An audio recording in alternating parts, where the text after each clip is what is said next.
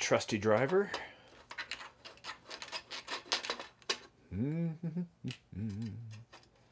Now I figured I could either take the whole cab off or I could just go ahead and remove the top of the skull cab. Give us full access to see inside the cabin. Now there is no um, uh, there is no interior kit. This was an all metal vehicle. Never did offer an interior kit uh, from what I saw. Let's just remove this. Full access to the top of the cranium. I'll give you a look inside. Wow. Look at that. 8400 3S LiPo uh, from Gens Ace I have here. It is a 25C discharge rate. Now, it's supposed to go right here. I could do that. I don't see why not. It definitely got, goes up over the uh, back engine compartment. Plus, it's putting weight right over the front tires. Still with the room up front. So I'm thinking what I can do is either I can attach the RX-8 on an angle, right? Has that stickiness on the back from the packaging. I could put it like that. And then the whole thing is, is that there's holes in the bottom here to get to the wires of the motor. So it would almost be smarter if I had these pins pointed down like that. The only issue is, is then I'm going to be able to see it through the cab. But is that really something I'm worried about? Not really. If I flip it forward, all the wires come out of the front of the uh, uh, motor compartment. Now, I need extensions pretty much to run it through the cab. Unless I ran the wires through the cab, that could be pretty easy. I could have put a receiver in the front, maybe behind here on the wall. Hmm, this is why these kind of kits take a little bit of time.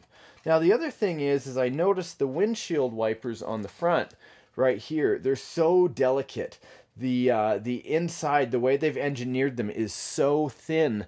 It's a very big challenge to keep everything working together. So at the moment, I'm not going to worry about the working windshield wipers. This is the hobby of the hobby for me. So I'm going to focus on mostly the power plant. Now, let's get this ESC out. We'll do some wiring. I think that's the best thing to do. Get the wires attached and then I'll be able to space everything out. Okay, uh, so in every build video, I've basically shown how to do soldering. I've also done tutorials of that on my channel. Uh, so I'm to step over that for now because this is an advanced build and the advanced builders watching uh, are with me and we're to move on to the next stage. I will mention this is, this ESC from Tekin, the RX-8 Gen 2, uh, has a limitless brushed motor category. So really, any turn of brushed motor you can run off of this, and since I don't know the turn uh, of the brushed motor capo sent to me to use, I think this is going to be an ideal choice. So we might as well go ahead. Uh, I'll let you know that the way it's been set up, this and this, the positive and negative are to go to the motor, and the middle two are to go to the actual battery. Let's put the truck back up on the bench and install it. All right, so you can see the holes uh, through the window here of where those wires are supposed to go. So temporarily, and just for placement purposes, I'm actually going to slide the all the wires through just one of the holes. Move this forward from the back, kind of guide the wires through and stick it, the ESC to the back plate. There. I pulled the post out of the front. That actually released the front cab section. Remember, it would just roll forward. Now, with that hinge pin gone, I've uh, basically put the ESC in. It's just on some uh, sticky gum right now, just kind of staying in place while I figure out how to position it. Now, yes, you can see the ESC, but when it's positioned forward like that, you really can't. I could put it on the floor pan, but I'm, I'm not interested in doing that in case I get water that comes up to here, you know me, uh, and I don't want to have it directly on the floor uh, to get wet. I will probably waterproof this. The more I think about it, the more I'll waterproof it, but not right now. I just want to start getting the build put together so it's at least functioning. Now, on the inside, uh, you can see here that I have uh, the battery uh, cables. I'm going to put a connection on those right now.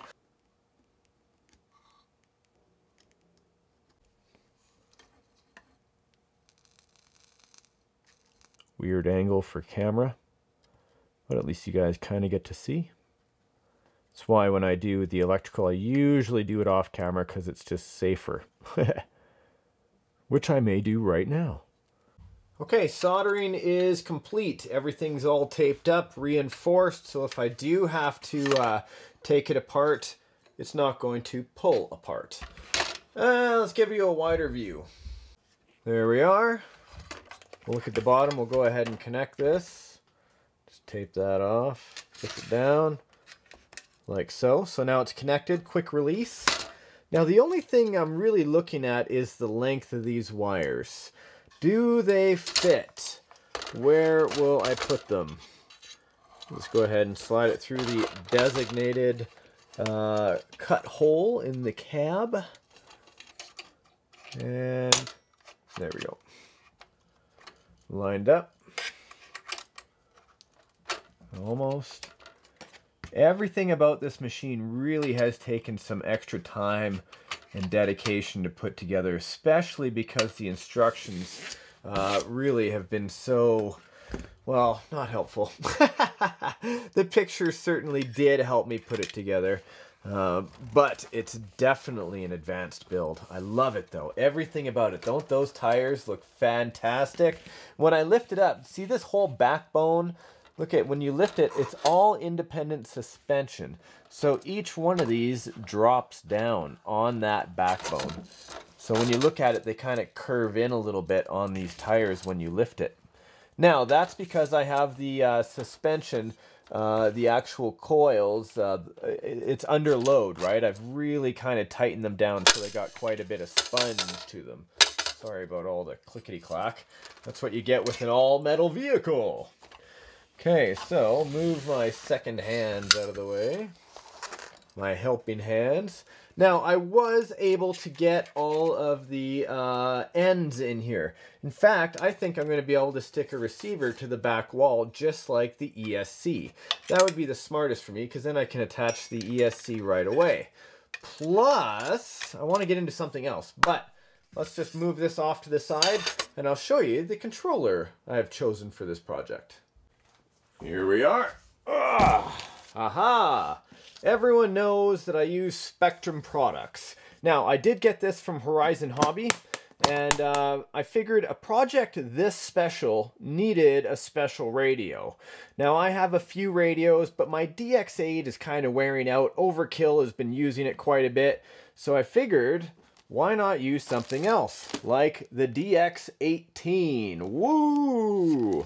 Uh, I actually haven't set this up yet. I just got it in the mail the other day, uh, and I just thought I'd go over it briefly with you. Now, do I need an 18-channel receiver? This is normally used for the air. Lots of people use it for different things, but pilots mostly.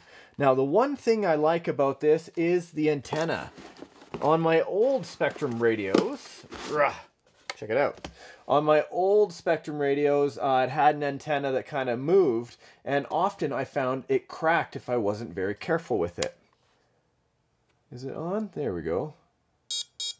Throttle high. There we go. Thank you. There. Isn't that nice? So I haven't set it up yet, uh, but this is going to help me maneuver the capo.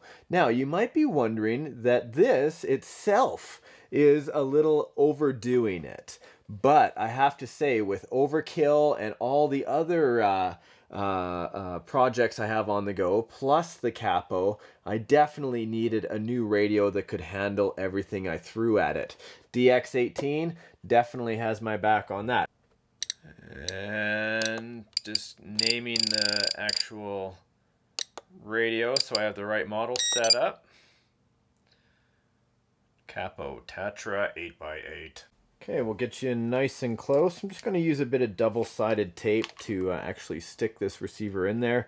Hopefully I do this right the first time. Take off the back.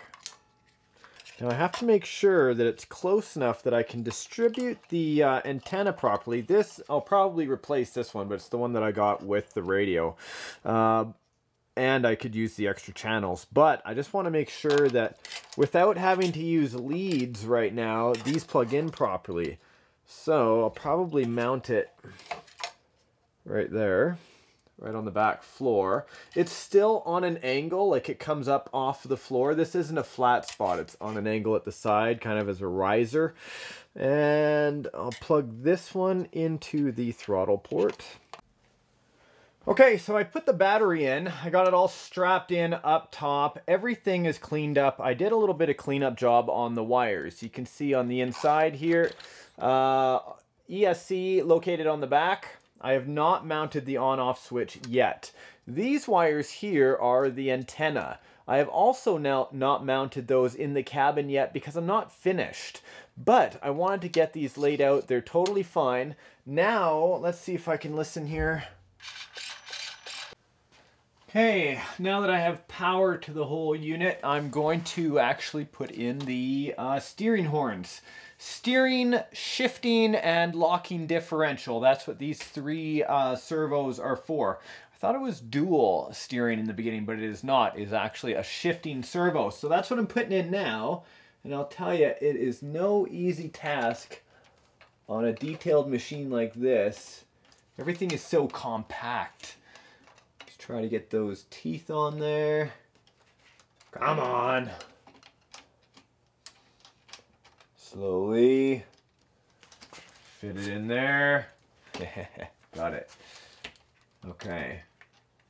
Now if I can just properly get the steering horn. I'm not going to tighten it up yet. I need to position it to see if it's right. I can always adjust it with the trim and sub trim, but I want to be as close to center as possible.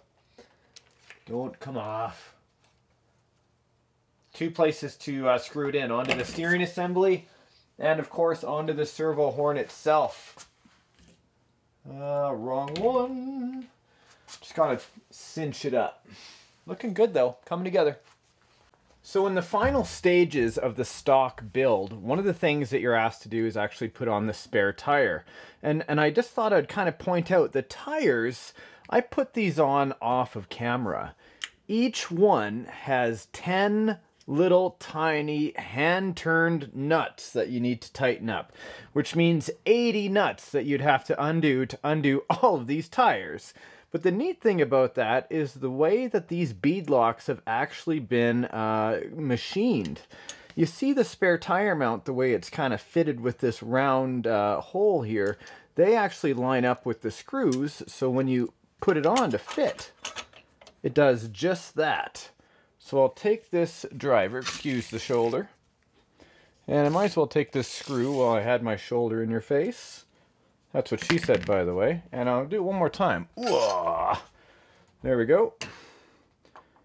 In goes the spare tire. Very nice. I like how Capo actually has their logo right in the middle. Really kind of sets the tone for the whole build there. Now I'll just put in this final screw. Now there we go. You'll see here, this is an aluminum fuel tank. I put this on completely, it's not a, it's just for looks. It's like not a storage container, just for scale looks. And I think it looks beautiful. All right, spare tire is mounted up and time to take these uh, windows. These are a special type of window. Check this out. Nice and clear. Clean, uh, like uh, peeled off both sides. Put that in there. Look at this. Slides back and forth. Better part yet, this whole triangle piece here. Look at this. Two. Two of them. Looks kind of foggy when you first get it out of the package, hey? No problem. Take it. Just kind of start peeling it back like that. Try not to scratch any of the uh, actual plastic itself on the window. Take it, pop it in.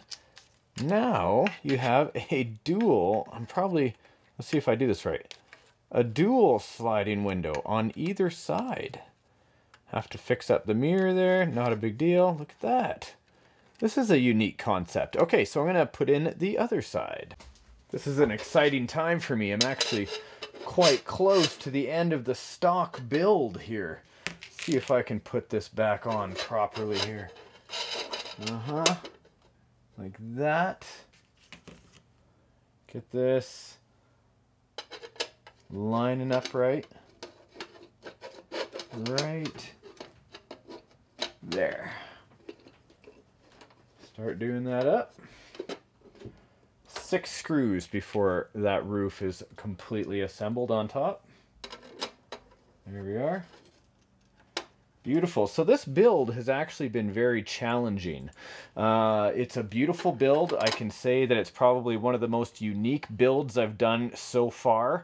It's been an honor for me to build this uh, Capo 8x8. Uh, everything about this, some parts didn't fit for me. I do have the very first one that was put into production, uh, and so it's a bit of a prototype. So I did have the odd uh, questionable thing happen to me here and there, or the odd uh, hole not lining up properly. But all in all, for an advanced builder, and I guess I'm kind of getting to that stage, intermediate, advanced. Uh, I could say that this project was fantastic. Now, I never talk about pricing uh, because prices change all the time. I know that Capo hasn't really gotten into the uh, western side of the advertising yet or distribution. I'm not part of the company. I'm just somebody who got to build a very cool vehicle. So I think uh, for the final stages, why don't we just plug in the battery and see where we go from there? All right, so I've actually lifted the truck up so it's not on the bench. All my Gens Ace battery boxes gives me a chance to elevate the truck a little bit. I have it all powered on and the DX18 is ready to roll. Are you guys ready to see the Capo roll the first time? Let's check it out. Let's see if it has the steering. Nice, looking good. I like the uh, dual steer in the front. Again, I'll have to play with the endpoints. I haven't done that yet, uh, where the start and the end is. That's pretty good though. Let's try out, uh, let's try out speed, shall we? Forward. Okay, unlocked diffs. Look at this, unlocked. Okay, let's see if I lock them up. There we go. So that is the difference. So I can go from locked to unlocked using that whole arm assembly on the uh, vehicle itself. Remember when we built that? That was on the inside of the frame with the locking and unlocking diffs. Unlocked, locked. That gives you ultimate traction. Two-stage transmission up and down here. Watch this. Uh-huh. Locked, low, high.